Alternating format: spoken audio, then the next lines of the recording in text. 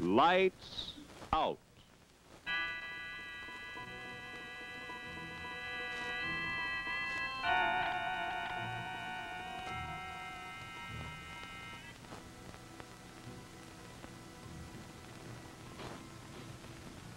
Hello.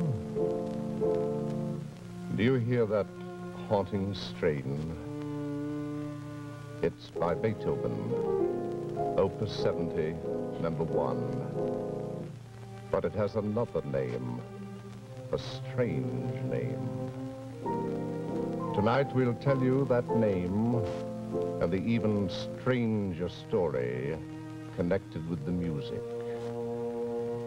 Lights out.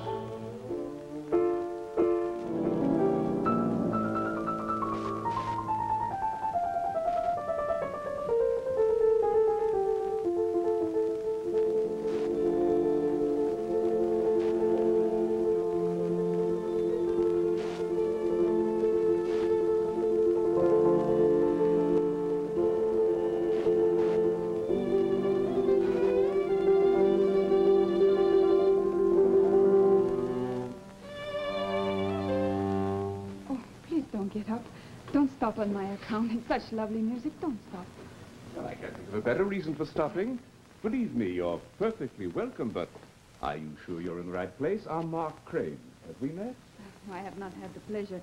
Oh, I hope you will forgive this intrusion. You see, I was passing when I heard the music, and I was drawn to it, so I took the liberty. Oh, that's wonderful. Gentlemen, a compliment. We've been playing together every Friday evening for five years, and this is the first time we've ever attracted an audience unsolicited. May I introduce the members of the ensemble? Miss Marie Erdody. Mr. Ben Miller, our cellist, How do you do? and Louis Brock, our pianist, who's also a very fine composer. Oh, you're a composer. Yes. But do you know this Beethoven trio? Are you familiar with it? I have not been able to forget it. It has stayed with me from the first moment I heard it, every part of it. Yes, I feel the same way about it. It, it has a haunting quality, a feeling of, of another world. Yes. Oh, But I really should not have come in this way without an Oh, invitation. nonsense. Please sit down, Miss Erdody. You're most welcome. It's very nice of you to ask me to stay, but I don't know if I should. Oh, why not? Please stay, Marie. I, I mean, Miss, uh, You may call me Marie. What happened to the music? Why did it stop? Oh, Louis, a friend of yours. Why didn't you tell me she was coming? no, Liz, you see, Marie Miss is... Erdody, my wife, Elizabeth, well, I'm delighted. and so we. Miss Erdody was passing, the windows were open, the music was pouring out. She loves Beethoven, and so here she is. What could be more natural? I hope you don't mind. Of course Not not. at all. Do you live in this neighborhood? No, I live some distance from here, Where do you live? at the Hotel Vienna. Hotel Vienna? Yes, it's a very small place. I don't recall. Uh, where is it? It is on the street near the park. Oh, the park? What park? Oh, Mark, what does it matter? Let me take your coat. Oh, no, thank you. I... Would you like some wine? Yes. Good. Oh, good, get it. Mark, Elizabeth. Louis? Yes, I'd Want love some wine? Yes. You're so very kind. You make me feel as if I belonged here. And this room, it reminds me. Uh, Forgive me, you see, I'm a jeweler, and I couldn't help noticing your necklace. I, I can't remember when I've seen anything so exquisite. Is it an heirloom? Yes, it's been in my family for years. Oh, I see. But, you know, I think I must go. Oh, Oh, no, no, please, no please need. stay. Please stay. We're going to finish the trio.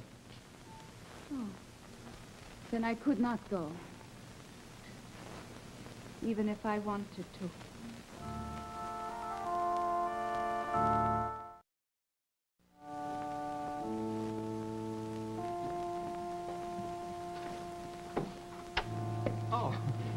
John, you got it clean. I asked John to get things straight for your first visit. It's very simple, as you see, but uh, I have everything I need here. Almost. I've done some of my best work in this place. It's very nice, Louis, but uh, the furniture is so thin it doesn't seem to have any substance. Oh. Oh, but yes, I see what you mean. It's, uh, well, it's the modern touch. I like a little of it in my work, too. It's a magnificent head, isn't it? I've had that bust of Beethoven since I was a student. It's been a sort of inspiration to me, you might say. Not very handsome, I'll admit, but they do say he was an ugly man. I do not think he was ugly. Oh, no, no, of course not. Not inside. No one who wrote the kind of music Beethoven wrote could have been ugly inside. Come, Marie, won't you sit down? Oh, thank you. it's such a, a fragile chair. It doesn't seem as if it would hold one. It is a throne, Marie. A throne? Yes, Marie, this chair, this room, everything you touch takes on grace. You know that little German restaurant that we were in tonight? Just an ordinary place. But your presence transformed it. Even the waiter was aware of it, Marie, the one you spoke to in German. Aware of what? Why, of you. I saw the way he looked at you. With reverence, as if you were royalty. Royalty. But, Louis, I thought the people of your country were done with kings and queens.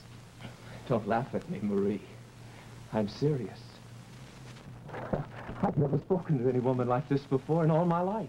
I'm very flattered, of course, but I would rather you talked about your music. After all, that was why I came. That's what I'm talking about. Something wonderful has happened, not only to me, but to my music. I want you to see something. I wrote this last night. It, it, it came to me all at once. I wrote it for you. Well, it's a very great compliment. But I'm afraid I'm not worthy of it. What? Not worthy of it? Oh, darling. Oh, Louis, please, you must not go on. You must not. Have I offended you, Marie? I'm not being disrespectful. I'm speaking from my heart. I love you, Marie. I want to marry you.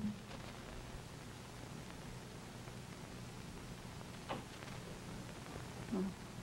No, it's impossible. You don't know what you're saying.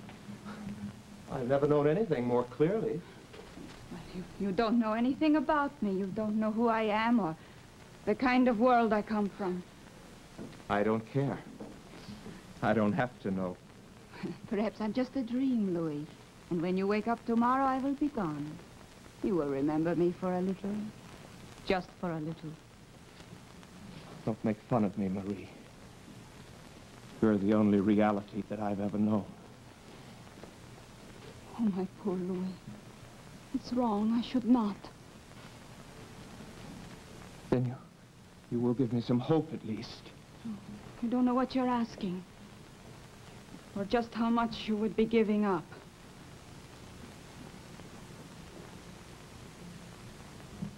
I know that I would give up my life for you. You would? Oh, here. They'll be here soon. Only ten minutes late. That roast is going to taste like a football, and I wanted everything to be just right for them. Mrs. Crane's matrimonial agency. Well, Marie is a lovely person. yes? Stunning looking, isn't she? Yes.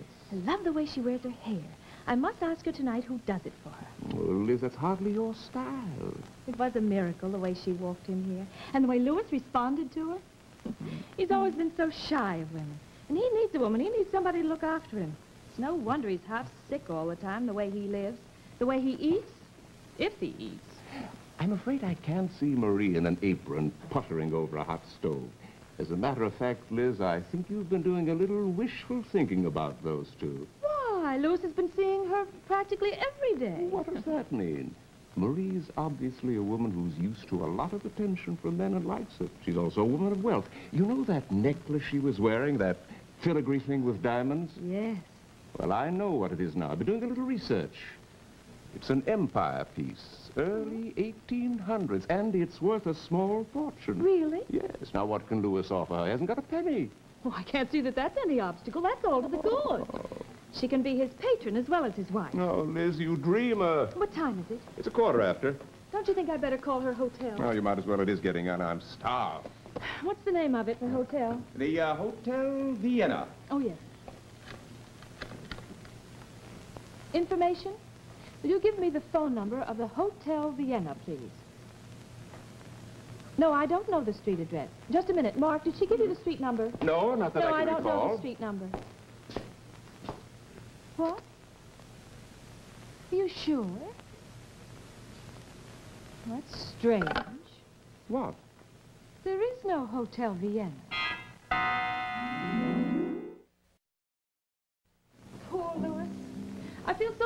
For him. He's almost out of his mind. He's, he's tried every hotel in Well, town. maybe she's gone back to Austria. Oh, Louis thought of that, too. He's tried the airport, the steamship line. Has he tried the police? You know, those jewels she was wearing were certainly tempting. You know, I think we're making a mountain out of a molehill. She's probably going to come with him tonight. Oh, if the sky was falling, Ben, you can be sure Elizabeth would make a happy occasion of it. there, you see, there's There the doorbell. You're always worried. Louis, how are you? Oh, hello, Louis. Hello, Louis. We're all ready. Haven't you heard from him?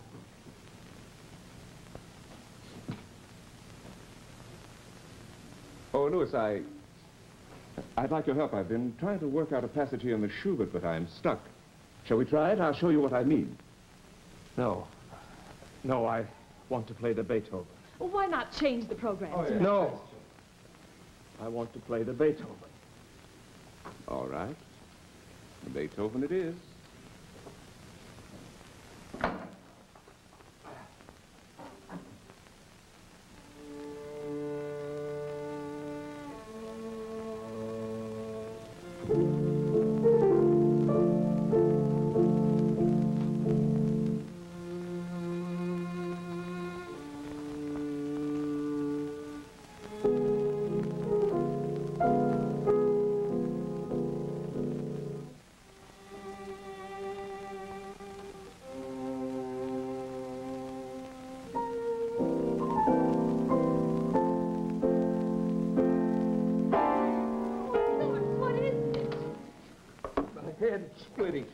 You an aspirin. No. Mark, will you I'll get get the aspirin yes, from the medicine cabinet? Come over and lie down on the sofa. No, no. I'm all right, Liz. Just let me sit here for a moment. What do you think, Liz? Shall I call Gottwald? No, I don't want the doctor. Louis, here, take this. Louis, you're behaving like a baby now. Take it. Come on, Louis. There. All right? Yes, thanks. I think I'd better get along now. Well, you can't go. You're, you're not well. No, I'm fine, miss. Oh, Louis, you don't look fine. Now, why don't you spend the night here where we can take care of you? It's a good idea, Louis. Why don't you? No, thank you. Thank you both very much. I appreciate it, but I'd really rather get home. I can rest better in my own place. Are you sure, Louis? Perfectly sure. Now, I've got my car outside, Louis. I can drop you off. Thanks, Ben. I'd rather walk. I'm sorry about interrupting your trio. I suppose it's the first time it's happened in five years. All right, Louis. Don't worry about it. Anyway, you and Ben can always play duets.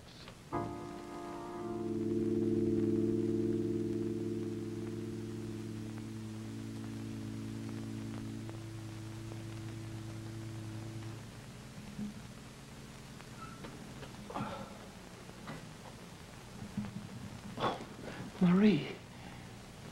Oh, you've come back. My dearest, I thought you'd left me. I shouldn't have come back, Louis. I tried not to, but I had to. I had to come back to say goodbye.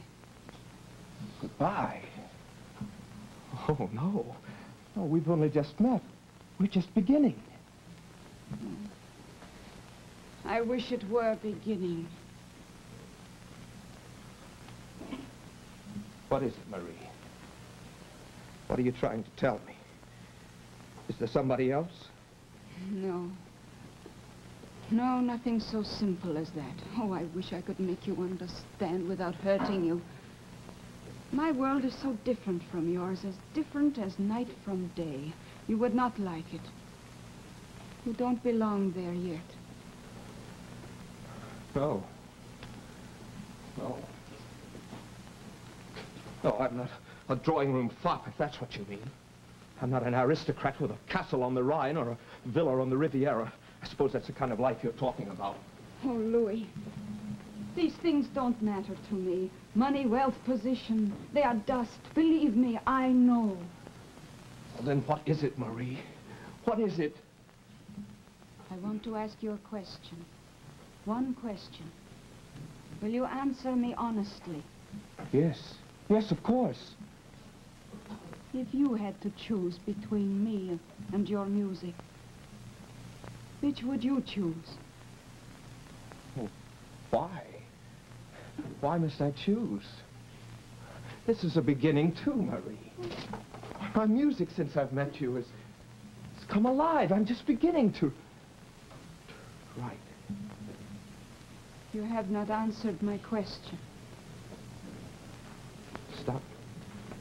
Stop talking in riddles, Marie. Stop torturing me.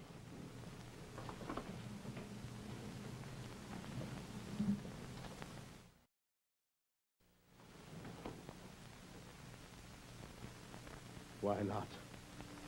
Why not? Is it because I'm a commoner and you're a countess? Does blood really matter to you?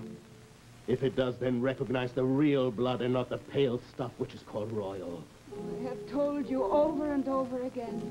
That is not the reason. Oh, why don't you believe me? What am I to believe, Marie? You tell me that you love me and then you run like a frightened fawn whenever I approach you. I know that I'm not beautiful, but I am not an ogre. You are beautiful. Your music is beautiful. My music. So that is it. All this time it has only been my music that has ruffled your heart. Yes, it is your music, and your music is you. Are they separable? I gave my heart to you the first time I heard your music, and no one else has had it. If I could, if I were able, I would go with you now, wherever you desired, anywhere. If you could, if you were able, why can't you? You're free, you're alone, there is no one to prevent you. No one. But still, I cannot. I have not wanted to tell you because I, I don't want you to be sad. I am not one of your court gentlemen to be played with. Tell me what it is, Marie. Promise you will not weep, nor beat your breast or curse heaven. Promise you, will- you will be the same after I tell you. Anything, anything, only tell me, Marie. Yesterday, the court physicians attended me. All of them. You would have thought I was the queen. But Mama insisted, and they told her. But I already knew. What did they tell her? In heaven's name, what? that I have not many weeks left in my life. It, it cannot be. No, no, no. Remember, you promised. This, this will not be the end, Marie. Not for us. I will not allow it. This was only an interlude. I will follow you. I will find you. You will. Yes, Marie.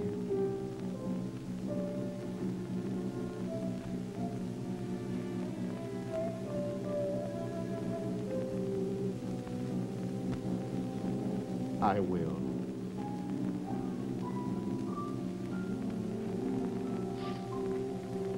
Here, Marie. This is for you, a trio I finished this morning. For me? How lovely. But I want to hear it. Now, I, I must hear it before. What do you call it? It has no name, only Opus 70. Why don't you call it the Ghost Trio?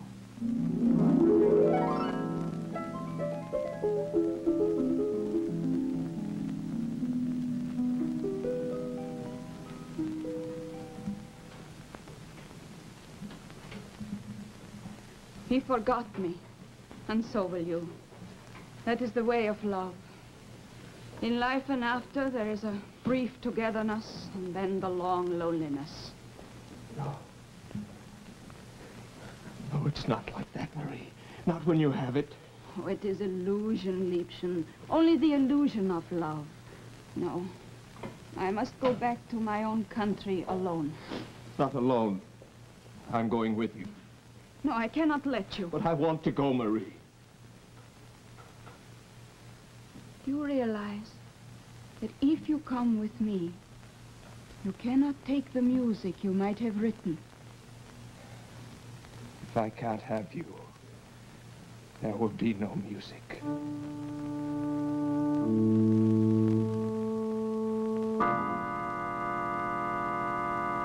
I'm terribly worried about him.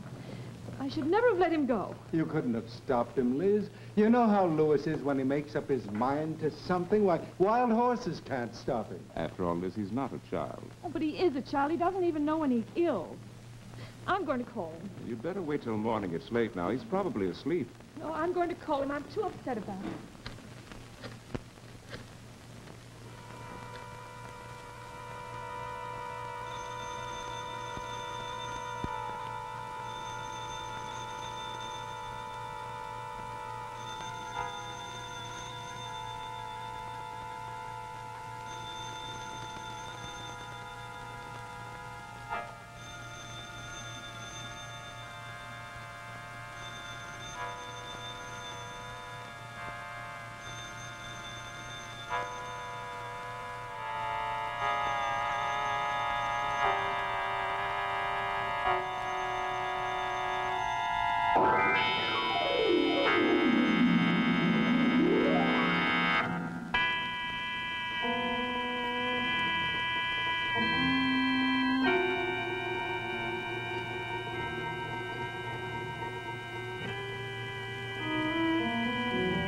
Beethoven did dedicate his Ghost Trio to Marie Fornero. Perhaps when the music is played, it still calls forth her spirit.